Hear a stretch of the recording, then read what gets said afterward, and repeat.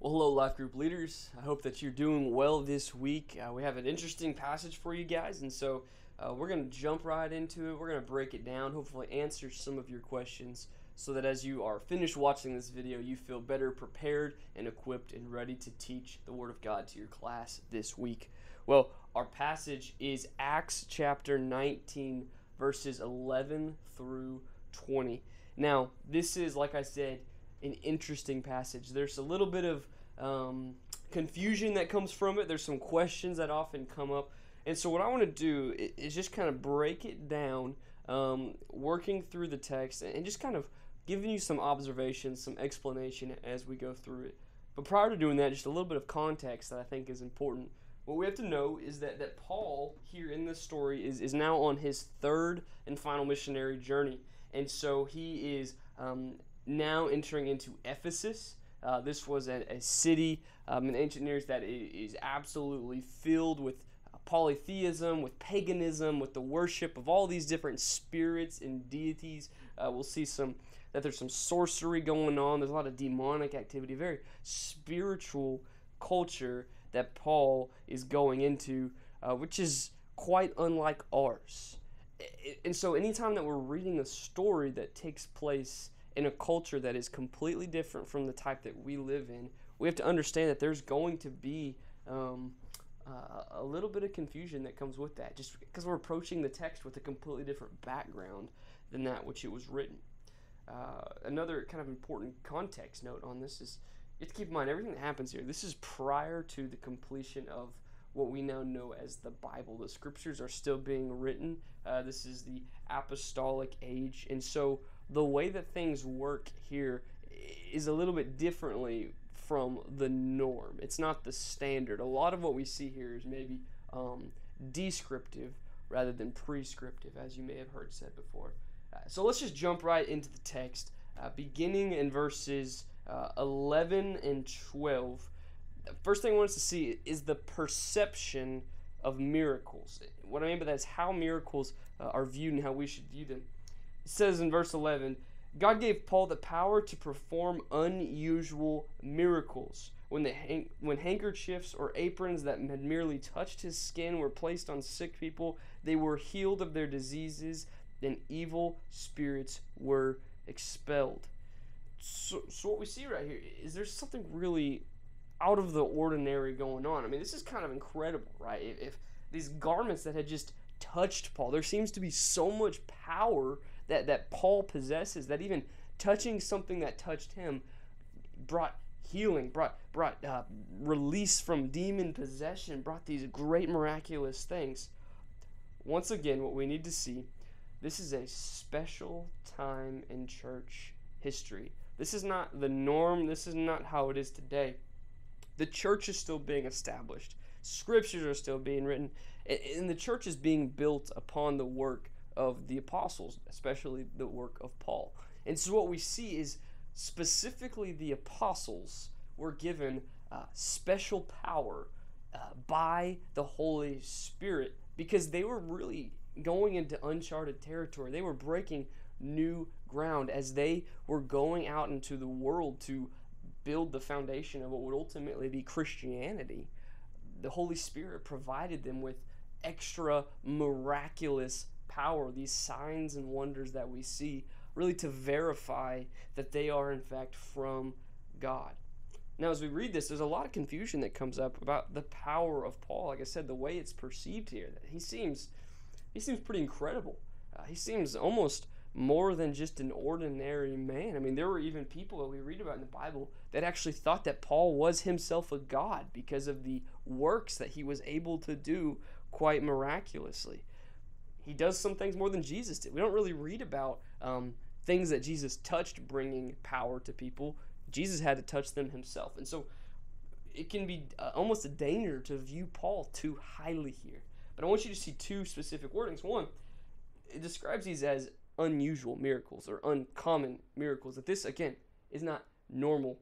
But number two, very beginning, what we need to see is God gave the power to Paul that, that God gave Paul the power to perform these miracles. That this was not in any way anything that Paul was able to do This was nothing special about Paul. He had not unlocked some sort of uh, deeper spiritual power. He had not somehow figured this out or, or achieved uh, this untapped potential.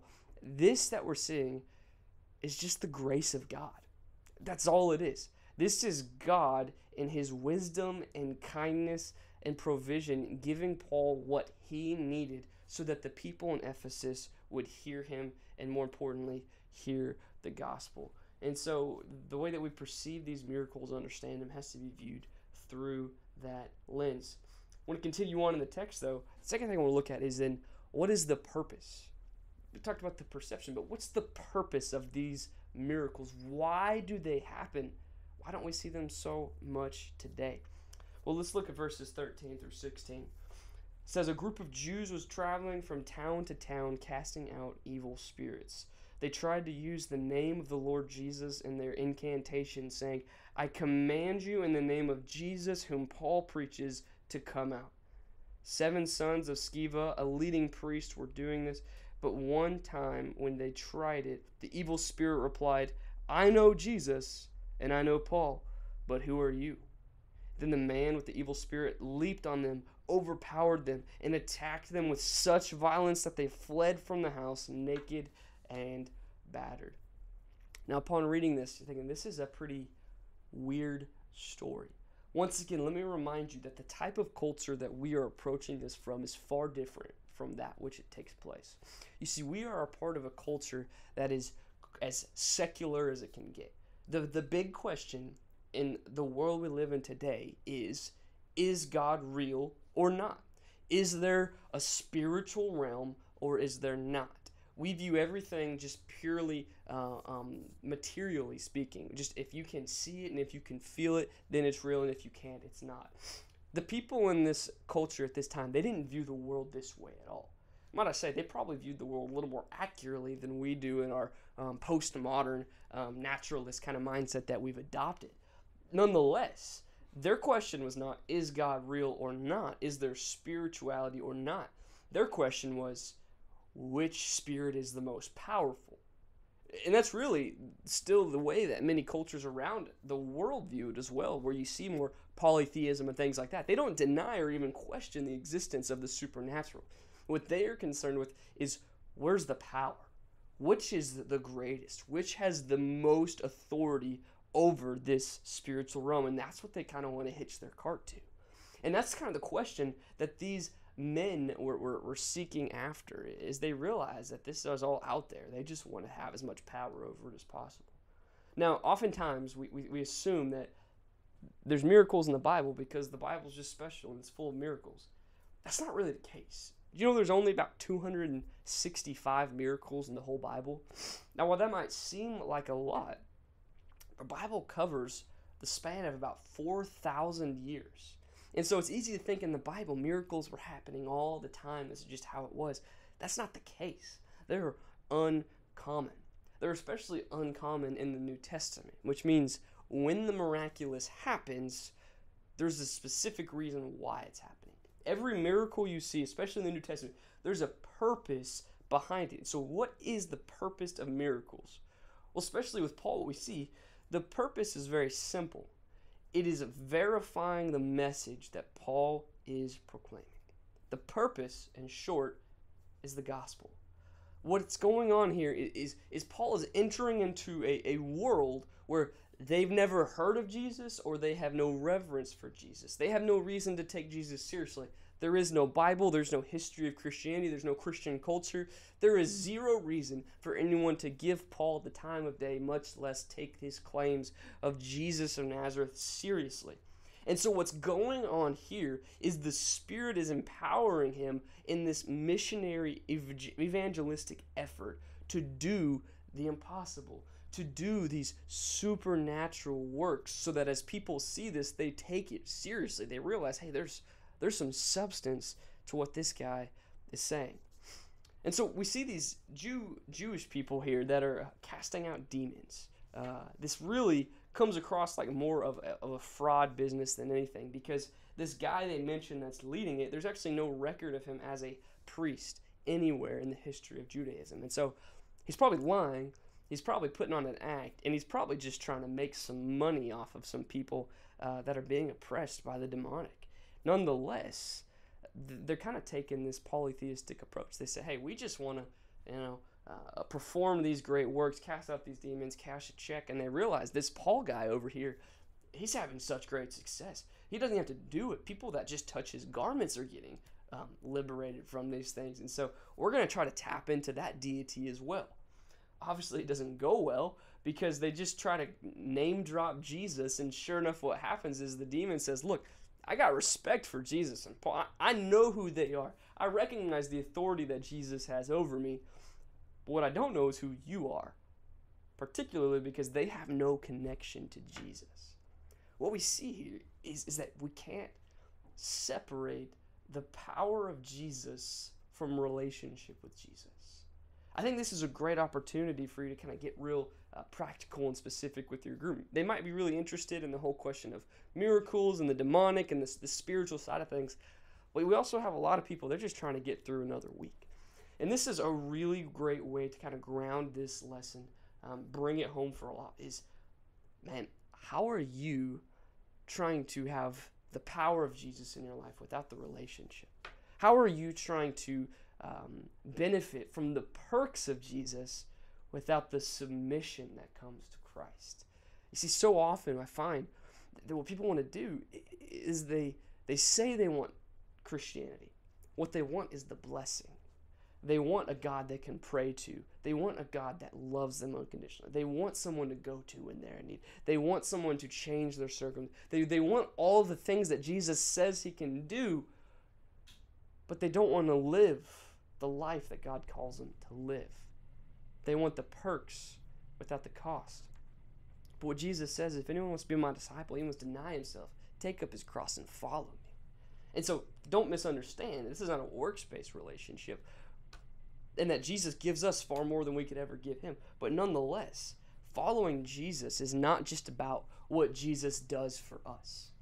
We see a great history whenever Jesus on earth, the people that just wanted what they could get out of Jesus. They just wanted a free meal. They just wanted a healing. They just wanted to witness a miracle. And Jesus says, You don't understand who I am or why I'm here because that's not what you need. What you need is your sins forgiven and to be unified with the God that created you, the one for whom you exist. But in the flesh, they miss that. These Jews here miss that. So many people in our churches miss that. They want what Jesus can do for them, not Jesus himself. I think this is also, um, if you're familiar at all with the, the new apostolic Reformation movement that's taking place, uh, it, it's kind of a branch of Christianity that really ceases to be that because they emphasize so strongly the signs and wonders, the ability to prophesy and work miracles and heal and speak in tongues and all of these miraculous things, that the focus of their faith is the power rather than knowing and glorifying Christ. Listen, I don't care where you go to church or what you do, if the central purpose of your relationship with Jesus is about anything other than having Christ, you're missing. If it's about anything about what you can do, about what it can do for you, if it has anything to do other than getting to have Christ, the greatest rich, that the, the greatest treasure, the greatest blessing, the greatest thing that you could ever possess is Christ. And if your Christianity is about anything else but Christ, you're missing it. These guys were missing it. And we see the consequences of that folly. Third and finally, I want you to see the power that miracles have. We've, we've seen kind of the misperception, if you will. We've seen the purpose behind them to verify the gospel. But finally, number three, let's look at the power that they actually have. You see, Jesus accomplishes exactly what he intended to accomplish with the miraculous. Look at verses 17 through 20. The story of what happened spread quickly all throughout Ephesus to Jews and Greeks alike, and a solemn fear descended upon the city, and the name of the Lord Jesus was greatly honored. Many who became who became believers confessed their sinful practices. A number of them who had been practicing sorcery brought their incantation books and burned them in a public bonfire. The value of the books was several million dollars. So the message about the Lord was spread widely and had a powerful effect. Jesus accomplished exactly what he intended to do. You see, when, when people realized the power of Christ, the response was repentance. The response was submission to him. They realized that, that Jesus isn't just some other spirit. He's not just another option on the buffet of religion. And that's really what we need to see here, too. You see, their idea was that there's all these different spirits out here. But as the word got out about this story, that even the demons recognize the authority of Jesus, that that is where the power is found. That's the only person that has authority over all things. They realize, oh, this is who I need to follow. And so often we treat religion like that buffet, where we can have as much as we want of each thing, but, but not really ever buckle down and, and, and, and lock in on that one. What we have to understand is Jesus is the only one that has the power. Jesus is the only one that can save. Jesus is the only one that can forgive. Jesus is the only one that can resurrect and redeem. And so it's all about having Jesus. And these people realize this. Once again, I talked about the, the reality that um, the sorcery, the, the, the supernatural, this paganism was so prevalent in this city. We see to what degree, as their great sin really was practicing it. And, and so, not to get off topic, but just to point out what the scriptures describe here that the, this sorcery stuff is real. I think once again, growing up in, in such a secular culture that kind of shrugs off the supernatural, we like to joke that that's nothing to really be worried about. Um, anytime someone's, uh, you know, fearful about uh, the possibility of things like sorcery, witchcraft, magic, all those things, we kind of play it off like a joke, like, oh, they're crazy, you know But this is serious stuff. The demonic was using these people's obsession with sorcery and the supernatural to oppress and wreak havoc on these people. Which understand is just because maybe we as a culture don't really recognize that this stuff is real doesn't mean it's not. Pretending like it doesn't exist doesn't mean it's not dangerous. And so, as Christians, I'm not saying you go full on and and and, and be crazy about it, but we have to recognize, hey, this stuff's real be mindful about what your kids are watching, what your kids are doing, about the type of movies that you allow in your home, the type of things that you like to do, because the spiritual is real and it can be dangerous as it was for them.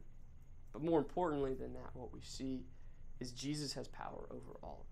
And so Jesus has authority to uh, vanquish all of those foes, to redeem his people from any of that spiritual oppression, and, and to use the displays of his power to make the gospel known. So, it's an interesting story, um, one that I'm sure will have a lot of uh, questions being asked from your group. So I hope that this has helped. I hope this will uh, give you the tools you need to be able to answer those questions and use the Word of God to teach your class this week.